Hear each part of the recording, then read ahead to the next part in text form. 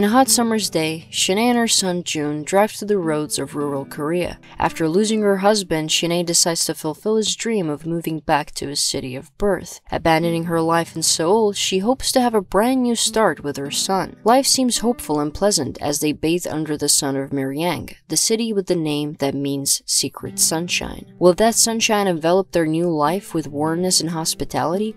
Or does it hide a malicious secret that will crash all of their hopes for a brighter future? I kind of related to the protagonist in the beginning of the story, where she tries to adjust to the small city. She's a straightforward person, and a lot of the interactions she has with the locals seems odd to her. Song Kang Ho's character keeps intruding her personal space, although with the intent of being helpful, but also because he develops romantic feelings for her. When she gives a genuine advice to the clothing store owner, the latter gets extremely irritated, since to her, it seems like a criticism. The owner of the drugstore keeps on nagging Shin-ae to join the church, all of these people seem so odd to her, but she still continues her journey in the city, establishing a small piano school and taking care of her son. But a small town like this has its downsides too. A tight-knit community means that there are no secrets and everything spreads around quickly. Shin-ae hopes to buy a land and build a new house for her and her son, but her plans and dreams turn into a nightmare pretty soon. Finding out that this defenseless lady has money makes her a target and her son gets kidnapped. From here on, anyone who doesn't know anything about Lee Chang-dong's movies would assume that the rest of the story will follow an investigation of this case. But Secret Sunshine is not a thrilling detective film about a tragic case. It is about ways that our lead character deals with her loss. Also, it is pretty obvious who the kidnapper is, the school teacher. Even the police suspects him right away. I was frustrated when Shin-ae didn't tell anyone about the kidnapping and also followed the instructions of the kidnapper through and through, despite him not letting her even hear her son June's voice. But who am I to judge? Luckily, I have never been in a situation like that, and when simply watching a movie, it is much easier to reasonably think about things. But in the heat of the moment, just to hear your loved one's voice again, you would would scale any mountains, whatever it takes. Unfortunately, though, Shin-ae gets a call from the police as they find June's cold body near a lake. She loses her precious little boy, so what is there even left for her in this life, in this city? She can't even shed tears at first. She tries to continue her life, even her piano tutoring, but she soon breaks. When the rug is pulled out from under you, you need something new to stabilize everything. A table with only three legs cannot stand on its own. The grief and weight of despair chokes Shin-ae. She can't stand on her own anymore, and in that state, she crawls into the church, crying out loud, trying to break free, and in that moment, the pastor lays his hand on her head. The chains that were clutching her finally loosen up and Shin-ae is able to exhale. In the beginning of the story, our lead's relationship with faith and God is something similar to my own. 하나님 말씀이 담겨 있는 정말 소중한 선물이거든요. 집에 가서 저 이런 거 안 믿는데. 우리 원장님은 눈에 보이는 거는 믿고 눈에 안 보이는 거는 안 믿는다 전 눈에 보이는 것도 다 안 믿어요. But in this moment of need where she was all alone, bereft of love and care, she's able to find that warmness through her newly gained faith. So she starts going to church regularly and becomes very close with the rest of the community. She even seems happy. It seemed odd to me how she was able to make that 180 degree shift. People don't heal that quickly. But the point is that she wasn't healed.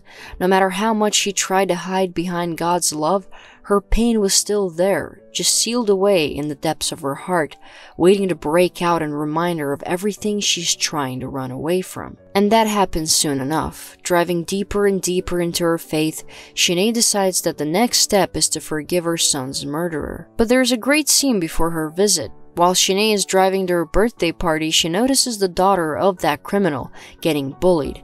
She doesn't take action though, she just watches and then drives away. Right after that, she nearly hits a man with her car. It almost felt like a punishment from God for not lending a hand to that kid. Or, and this theory has more basis, This very scene is the representation of that pain sealed away that I mentioned a minute ago. No matter how much she's trying to be a God's child, that hatred she has in her cannot be totally erased. With this one little moment, Lee Chang-dong lets the audience know that there are cracks that are becoming apparent. But I still want to applaud this character for mustering up the courage to visit the man who took her son's life and attempt to forgive him. But as soon as she sits down in front of that man, the seal starts to rip little by little. This man seems to be doing fine. There is even a smile on his face. How dare he feel happy after destroying my life?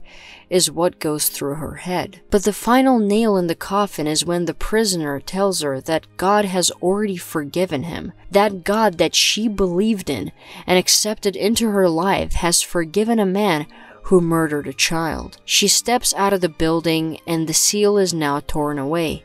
That pain swallows her whole and she collapses. From one perspective, this community reached out to her and helped her to forget about her problems.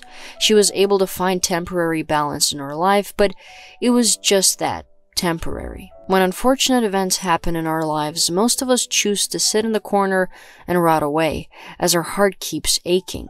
Some have no choice but to keep on moving, but what most of us do is we try to push away those feelings. Shin-ae needed support and kindness at that moment in her life, not belief in God. That faith served as a distractor. It was just a matter of time when all that trauma would break her again. What Shin-ae needed instead was to learn to heal slowly but surely making strides each day to calm down and get back on her feet. It was not supposed to be a fast process, but it would be a gradual and a rewarding one. Healing and not running away. Sometimes when negative and destructive thoughts start creeping into my head, I try to run away by means of drowning in fictional worlds.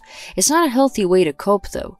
Instead, it's always better to take a small step further, just one small step, and keep going, no matter how difficult it is. After feeling like she was betrayed by God, Shin-ae tries to go against that faith.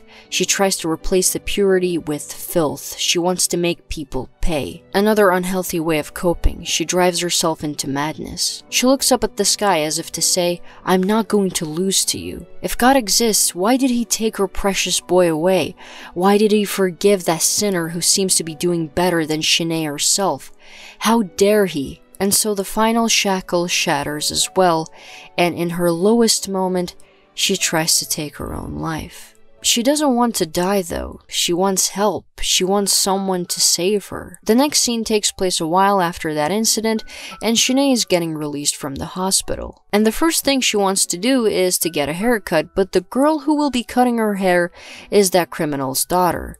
Shin-ae storms out and looks up at the sky. So you're still messing with me, she thinks. The movie ends with Shin-ae trimming her own hair. Her battle against God is not over yet. She still feels taunted. However, with the support of others and with time, her wounds will eventually heal. Secret Sunshine is a tragic story of a woman who hopes to start a new life as that radiant sun shines down on her. But as it always happens, things just never turn out exactly the way you want them to. Sometimes a horrible tragedy befalls an individual, but life goes on. You move on and continue, and that's where Shin-ae is at the end of the story. Not happy, not fully healed, but moving forward nonetheless. At the end of the day, that's all we can do. There is always a light at the end of the tunnel after all. A secret sunshine that could suddenly appear as the gray clouds part ways.